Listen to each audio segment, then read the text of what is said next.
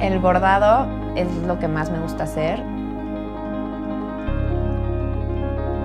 Para mí es terapéutico, me ha ayudado a sanar de mil formas. Me ha ayudado a cultivar mi paciencia.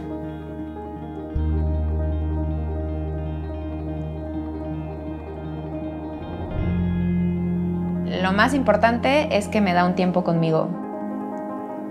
O sea, yo desde que empecé a bordar empecé aprender a estar conmigo. Mi nombre es Gabriela Martínez y soy diseñadora y artista textil mexicana.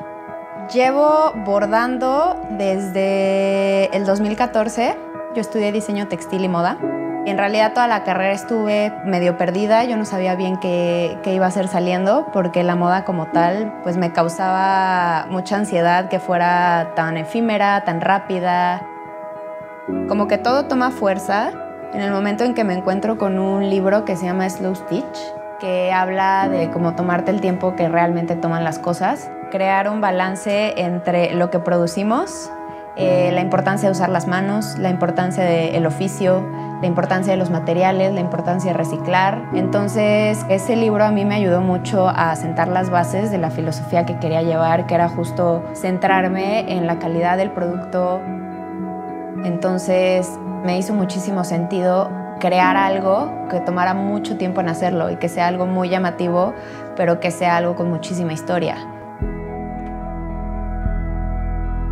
Mi proceso creativo parte de la naturaleza casi siempre. Todo el proceso de bocetaje a mí me encanta porque es el momento en el que igualo pintura con tela y veo cómo, cómo reaccionan los colores y la combinación de las texturas. Después del proceso de bocetaje hago las muestras en tela para ver cómo la paleta de color que escogí se, se comporta ya con los hilos y la tela. Normalmente no marco, como que a mí me gusta pensar que la mano es perfecta, entonces la mayoría de las texturas que hago sobre la tela las hago a mano alzada. Voy dejando que la propia mano vaya haciendo la textura y vaya haciendo el movimiento. Entonces siempre nacen piezas que ni siquiera me imaginaba.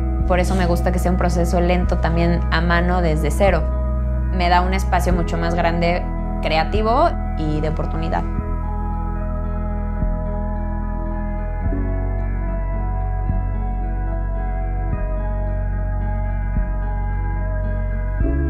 Siento que las personas poco a poco van a ir regresando a lo artesanal, más que nada por conciencia, pero también porque el conservar algo con historia lo hace muchísimo más valioso para ti. Y no hablo tanto del dinero, más bien como un valor sentimental